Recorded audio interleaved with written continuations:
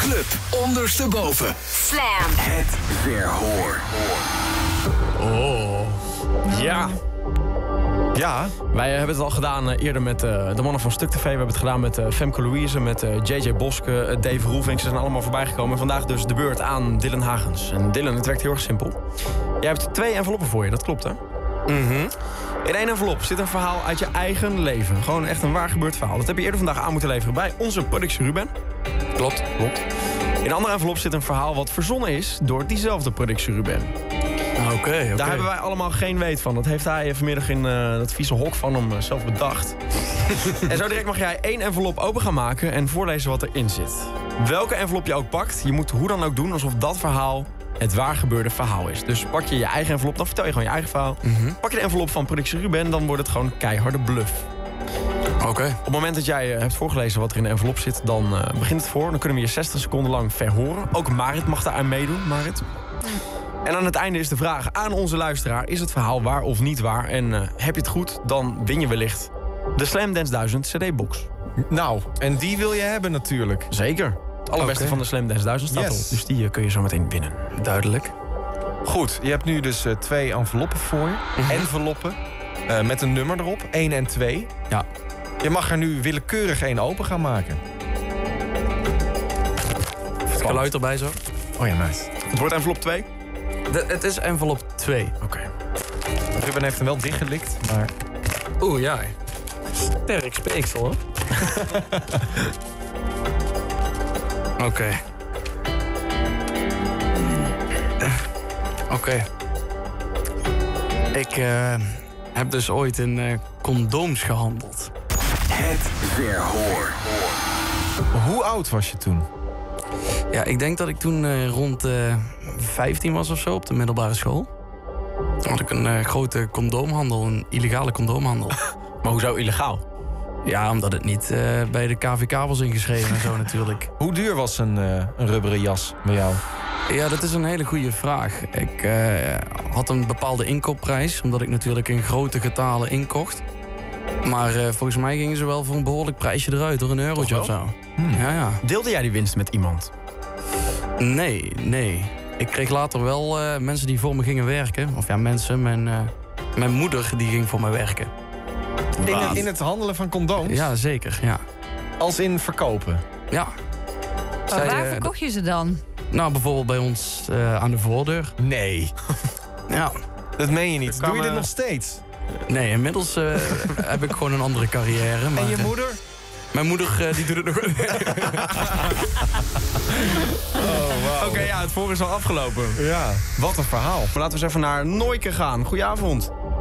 Hoi. Nooike, zeggen we dat goed? Zeker. Ja, dat zeg je goed. Nooike. Kom je uit Friesland?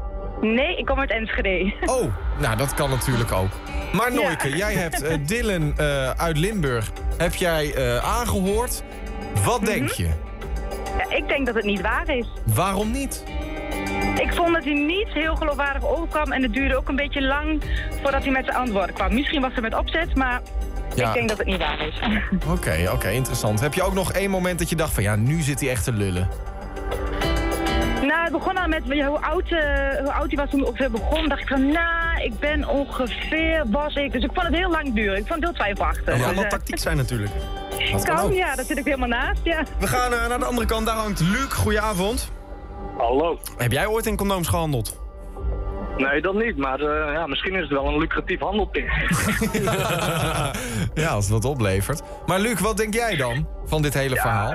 Ik eh, denk dat Dylan eh, dat zeker wel gedaan heeft. Hmm, en waarom denk je dat?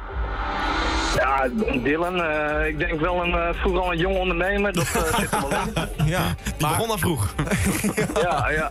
ja, maar je zou niet direct zeggen als je naar Dylan's video's kijkt... van hé, hey, dat is iemand die in condooms handelt. Ja, dat weet ik ook niet. Maar eh dat zou allemaal kunnen. Dit is heel interessant. Goed, zullen we het gaan vragen? Vraag jij het, Tom? Dylan, heb jij ooit in condooms gehandeld? nou, Tom. Ja, ik heb echt een condooms gehandeld. Ik dacht, dit is lulverhaal van Ruben. Van Ja. onze productie Ruben. Maar- Het typisch Ruben lulverhaal. shit. Oh, Oké, wauw. Luc, je hebt gewonnen.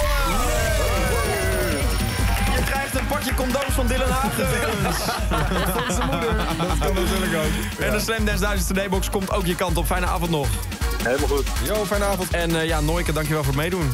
Jo, graag gedaan. Fijne Ook een avond. fijne avond. Hoi hoi. Doei, doeg. Ja, wat een verhaal. Ja. Maar vanaf welke leeftijd was het dan? ja, Vanaf- dus rond de 15 of zo, ja. tot, tot wanneer? Ja, niet zo heel lang hoor. Het was eh, rond de middelbare schooltijd, een jaartje of twee denk ik. Nou, maar ik weet wel dat toen wij eh, samen gingen wonen. dus, ja, Toen vond jij ze overal. Ja, maar echt. Dat ik ging toen over van zijn thuis, zeg maar. Hij woonde toen nog bij zijn ouders. En ik trok toen een la open. En lag helemaal vol met condooms. En ik vroeg echt, eh, eh, Dylan, hoe, wat? En toen kwam dit verhaal. Jij dacht, wat is dit voor seksmonster? Wauw, maar hoe is je moeder hierbij eh, betrokken Nou ja, geraakt? op een gegeven moment er waren er, stonden er zo vaak mensen aan de deur die, die wat kwamen halen. En toen eh, zei ik tegen haar van, joh, kun jij ook af en toe even wat afhandelen als ik er niet ben? Ja. ja, is goed. Mijn moeder is echt de mooiste op de wereld, jongen. Dat is echt, dus die, eh, die zei, ja, is goed, ik pak het wel op. En gewoon, die, die jongens bestelden op een gegeven moment vibra-ringen en al, jongen. Dat was niet normaal. ja, en ik dacht, joh, prima. Als het, eh, als het geld oplevert, prima. Wauw, dus jij weet nu alles van condooms. Ja, ja, ja, heel veel. Wauw, Mr. Condom. Eh, zit- daar zit- ja. Maar ja, weet je, aan de andere kant, die Tesla moet toch ergens vandaan komen. Dit verklaart wel een hoop.